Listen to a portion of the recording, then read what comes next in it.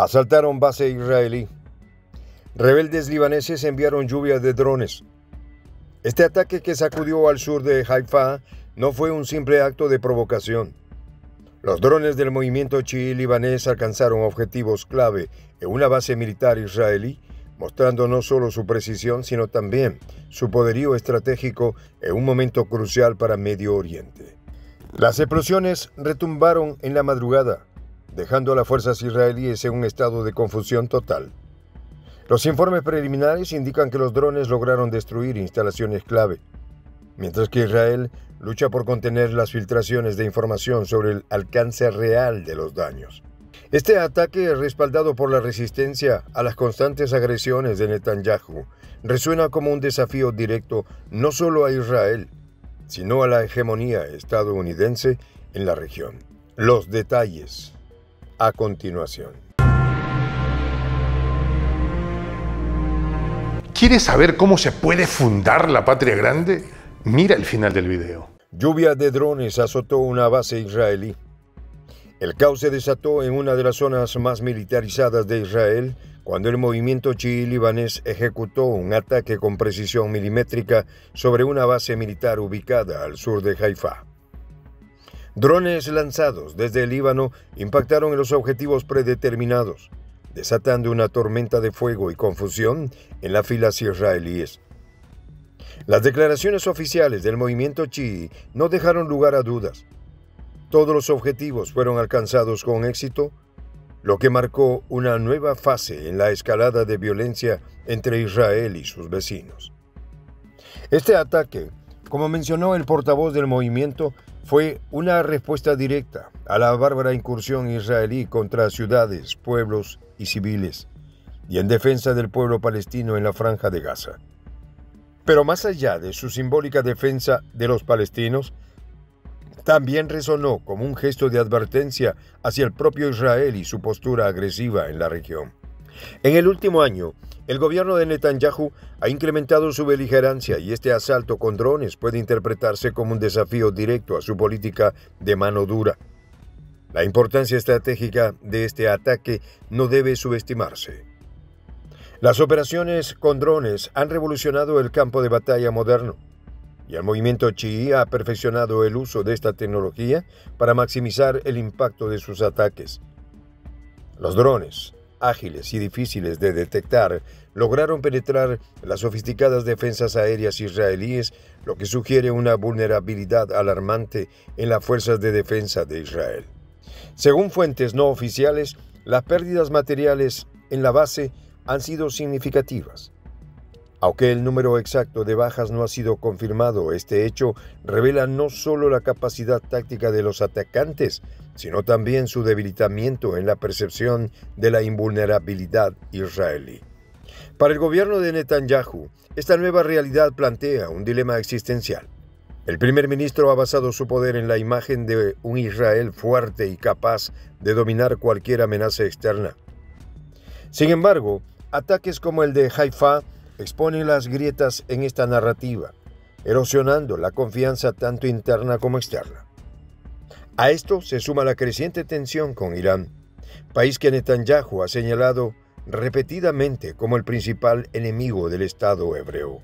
Estados Unidos, siempre el principal aliado de Israel, también está en una encrucijada.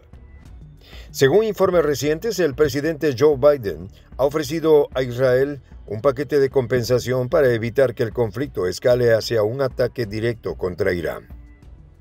Este paquete incluirá apoyo diplomático y asistencia militar adicional, siempre que Israel se abstenga de atacar ciertos puntos estratégicos en suelo iraní. Sin embargo, la respuesta de Netanyahu a esta oferta ha sido ambigua. Consideramos a Estados Unidos un aliado y siempre estamos dispuestos a escucharle. Al mismo tiempo, haremos lo que sea necesario para proteger a los ciudadanos israelíes y la seguridad de Israel, comentó un alto funcionario israelí, dejando claro que si bien la relación con Washington es clave, las decisiones sobre seguridad nacional se toman en Tel Aviv.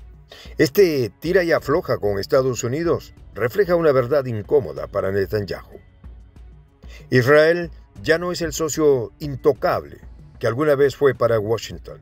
En un momento de polarización global y crisis geopolíticas, el gobierno de Biden debe equilibrar sus alianzas en la región con su propia agenda interna y los intereses de otros actores internacionales. Si bien un conflicto abierto entre Israel e Irán sería desastroso, también lo sería para Estados Unidos. Verse envuelto en una guerra de dimensiones impredecibles en el corazón de Medio Oriente. El movimiento chií, por su parte, está jugando un papel fundamental en esta nueva dinámica de poder. Los drones utilizados en el ataque a la base israelí son solo una muestra del arsenal que tienen a su disposición.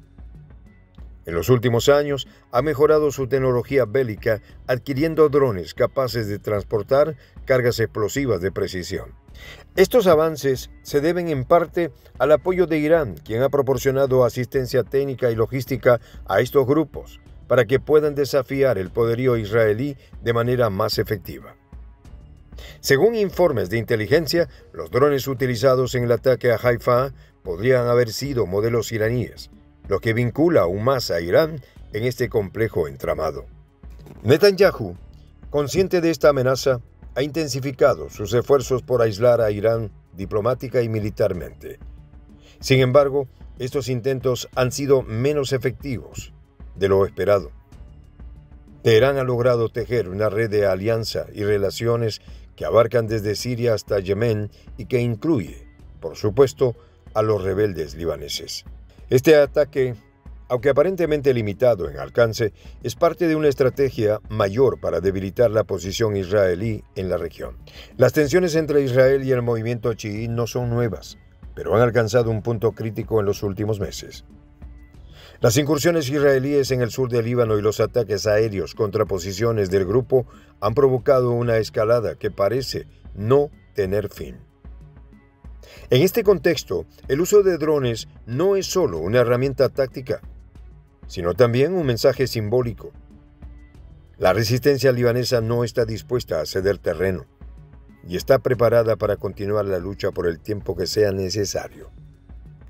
Mientras tanto, en Washington, los esfuerzos diplomáticos para frenar una posible confrontación con Irán continúan.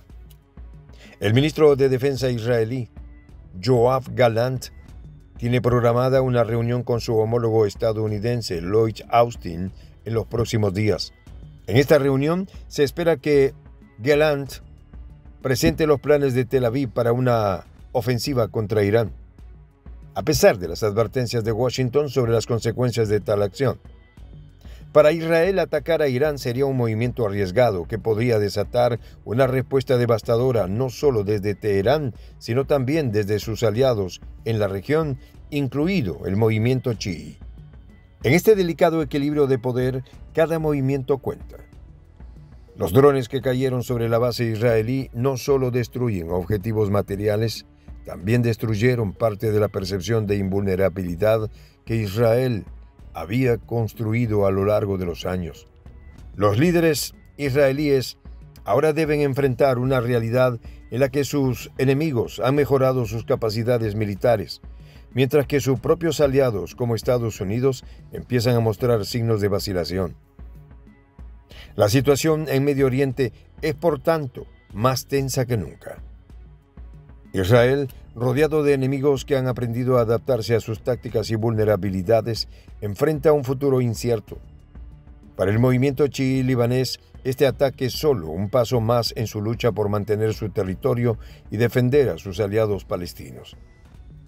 Pero para Netanyahu representa un desafío directo a su liderazgo y a su capacidad de mantener a Israel seguro en una región que parece estar cada vez más fuera de control.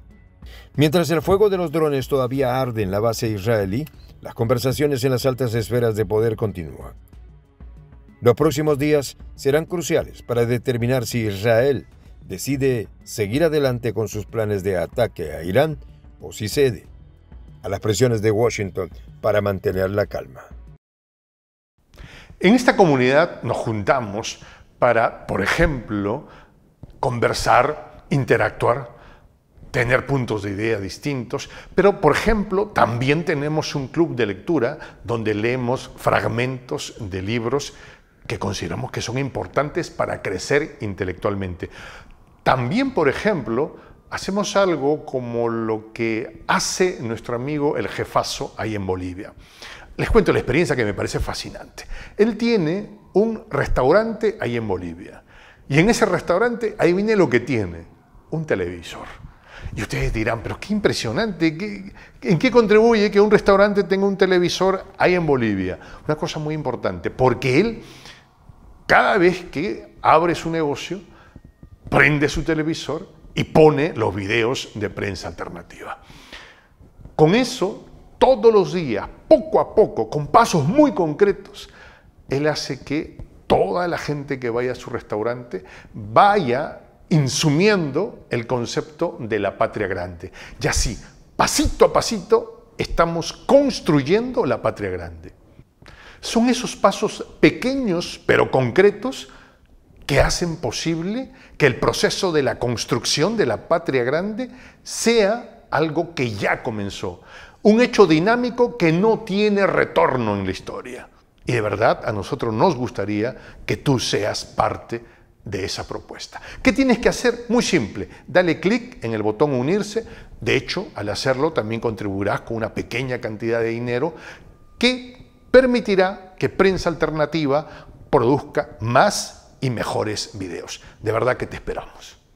La patria grande se va a construir cuando tú y yo y toda la gente de buena voluntad de América Latina y el Caribe comencemos a ser comunidad. ¿Cómo lo logramos? Interconectándonos todas las personas de buena voluntad que vivimos en América Latina y el Caribe. Y tienes una oportunidad de hacerlo uniéndote a nuestra comunidad. Puedes hacerlo haciendo clic en el botón unirse que está en la parte de abajo. Soy el J, Juan José del Castillo, director del canal Prensa Alternativa. Si quieres ser parte de la comunidad de la Patria Grande, suscríbete a nuestro canal. Si es que quieres que te lleguen las notificaciones cada vez que subimos un video, activa la campanita. Si quieres apoyar a nuestro canal económicamente, puedes hacerlo a través de PayPal. El enlace está en la descripción del video. A nombre del equipo de prensa alternativa, me despido con esta expresión en el quechua milenario, Tupananchis Kama, traducción es hasta volvernos a encontrar.